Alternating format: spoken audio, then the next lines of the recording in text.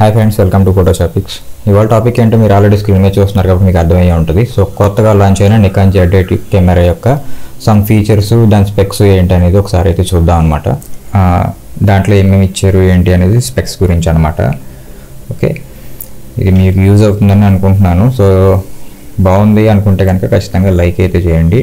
Okay అయితే ఈ camera విషయంలోకి వచ్చేటప్పటికి సో అప్డేట్ ఎవరెవరికి బాగుంటుంది అంటే ఇప్పుడే డిఐటి నుంచి లేదా డి ఎయిట్ ఫిఫ్టీ నుంచి.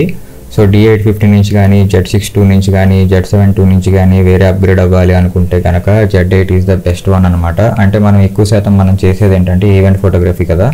ఒరిజినల్గా జెడ్ సిక్స్ టూ కానీ జెడ్ సెవెన్ టూ కానీ సరిపోద్ది.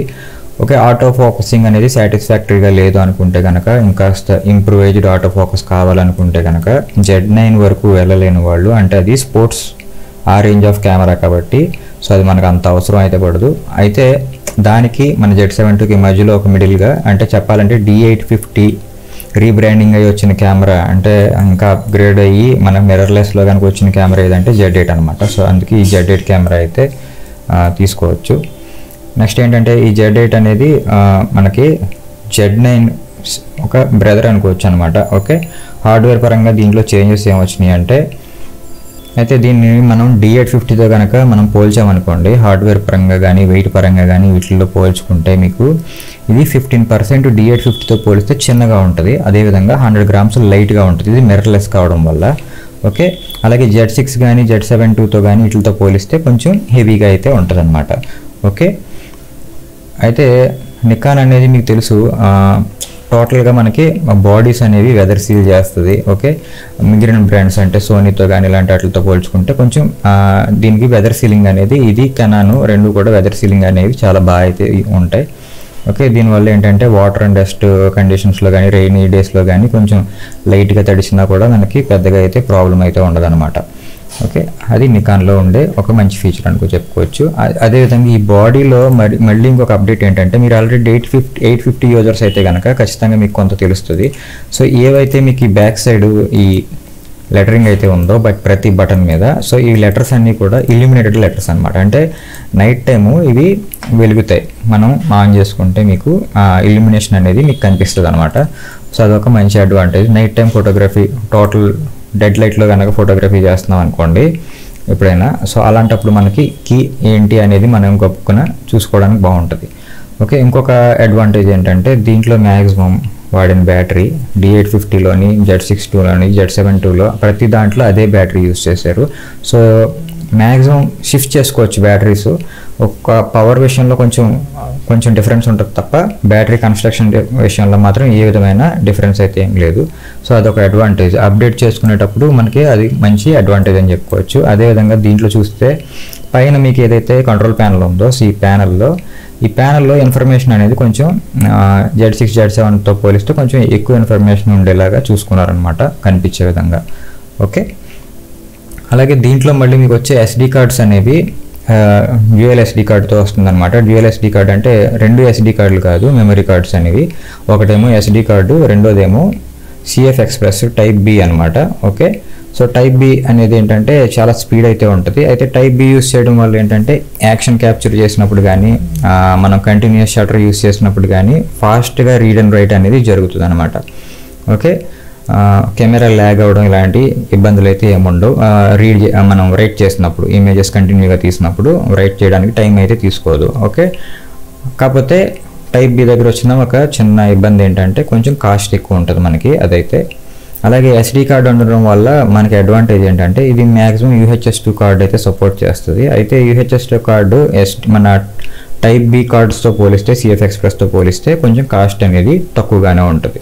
అదొక అడ్వాంటేజ్ అనమాట ఓకే ఎవరైతే జెడ్ సిక్స్ టూ కానీ జెడ్ సెవెన్ టూ కానీ యూస్ చేస్తున్నారో వాళ్ళ దగ్గర ఆల్రెడీ ఆ కార్డ్స్ అయితే ఉంటాయి. సో ఆ కార్డ్స్ మళ్ళీ దీంట్లో కూడా యూస్ చేసుకునేలాగైతే ఉంచారనమాట అయితే దీని బటన్ లేఅవుట్ చూసుకున్నా కూడా మీకు జెడ్ నైన్ వాడిన ఫీలింగ్ అయితే ఉంటుంది అనమాట కాకపోతే దీంట్లో మీకు జెడ్ నైన్కి దీనికి ఒక డిఫరెన్స్ ఏంటంటే బ్యాటరీ గ్రిప్. సో ఈ బ్యాటరీ గ్రిప్ ఏదైతే ఉందో అది అడిషనల్గా మీరైతే పర్చేస్ చేసుకోవాలి. జెడ్ నైన్ ఏంటంటే ఇన్బిల్ట్గానే బాడీ డైరెక్ట్గా మీకు బ్యాటరీ గ్రిప్ తోటి కన్స్ట్రక్ట్ అయి ఉంటుంది. సో రెండు కలిసి ఆటోమేటిక్గా కెమెరా రావడం అలా వస్తుంది.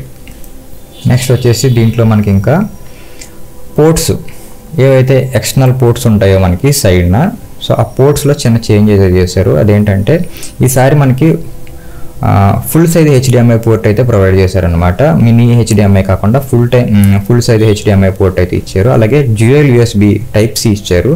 దేనికంటే ఒకటేమో డ్రా డేటాని ట్రాన్స్ఫర్ చేసుకోవడానికి రెండోదేమో పవర్కి ఓకే? మీరు కెమెరా పవర్ అంటే దేనికంటే మనం ఛార్జ్ చేసుకోవడానికి యూజ్ అయ్యేలాగా దాన్ని అయితే రెడీ చేశారనమాట నెక్స్ట్ వచ్చేటప్పటికి డిస్ప్లే డిపార్ట్మెంట్లోకి వచ్చేటప్పటికి మనకి ఇది ఏంటంటే డిస్ప్లే బ్యాక్ సైడ్ది ఇది ఓన్లీ టిల్ట్ డిస్ప్లే మాత్రమే కాదు అలా అని ఫుల్ సైజ్ ఆర్టికులేటింగ్ డిస్ప్లే కూడా కాదనమాట. అంటే కెనాన్ కెమెరాస్ కానీ సోనీ కెమెరాస్ కానీ తీసుకుంటే టోటల్గా ఈ డిస్ప్లే అనేది మీకు ఈ విధంగా సైడ్కి అయితే వచ్చి ఫ్రంట్ ఫేసింగ్ మీరు సెల్ఫీ తీసుకునేలా అంతవరకు చేంజ్ అవుతుంది కదా. సో అలా అయితే ఇది రాదు. కాకపోతే ఇది మీకు టిల్ట్ అవుతుంది.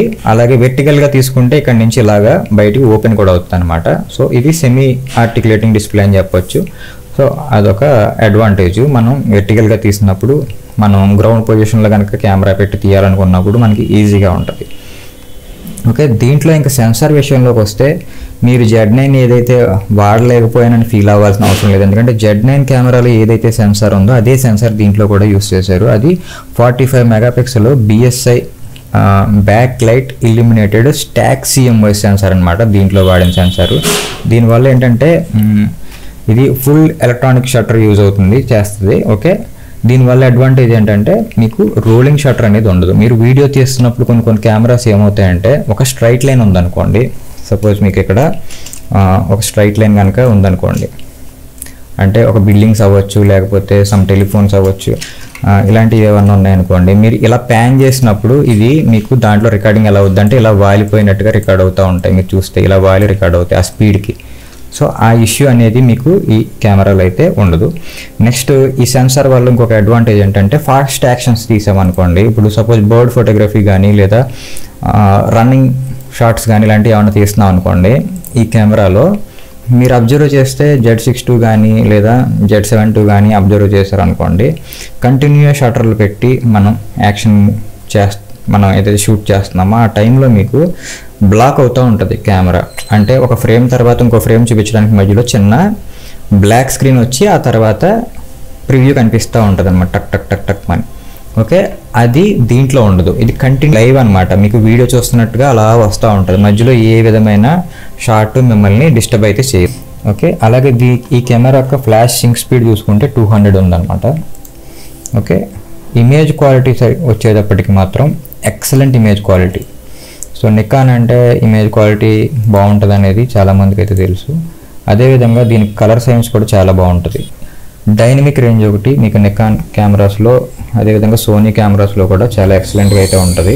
అలాగే లో లైట్ కూడా ఎక్సలెంట్ అయితే ఉంటుంది. ఓకే ఇది ఫార్టీ ఫైవ్ మెగా పిక్సెల్ అయినప్పటికీ లో లైట్లో కూడా మంచి పెర్ఫార్మెన్స్ అయితే చేస్తుంది.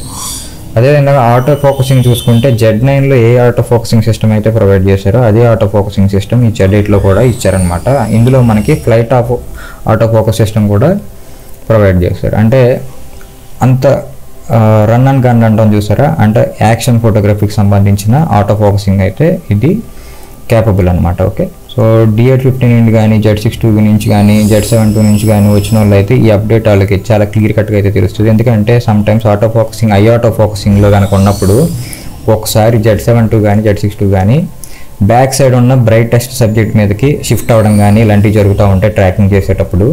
సో ఆ ఇష్యూ అయితే ఈ కెమెరాలో అయితే లేదు.